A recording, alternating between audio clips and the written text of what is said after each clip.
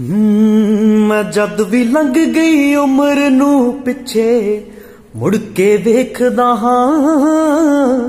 ਇੱਕ ਪੋਲਾ ਚਿਹਰਾ ਰਾਹਾਂ ਦੇ ਵਿੱਚ ਖੜਾ ਯਾਦ ਆਉਂਦਾ ਏ।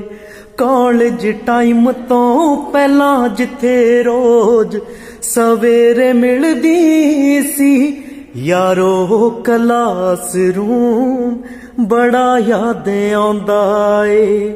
ਕਾਲਜ ਟਾਈਮ ਤੋਂ ਪਹਿਲਾਂ ਜਿੱਥੇ ਰੋਜ਼ ਸਵੇਰੇ ਮਿਲਦੀ ਸੀ, ਯਾਰੋ ਕਲਾਸ ਰੂਮ ਬੜਾ ਯਾਦ ਆਉਂਦਾ ਏ। ਯਾਰੋ ਕਲਾਸ ਰੂਮ ਬੜਾ ਯਾਦ ਆਉਂਦਾ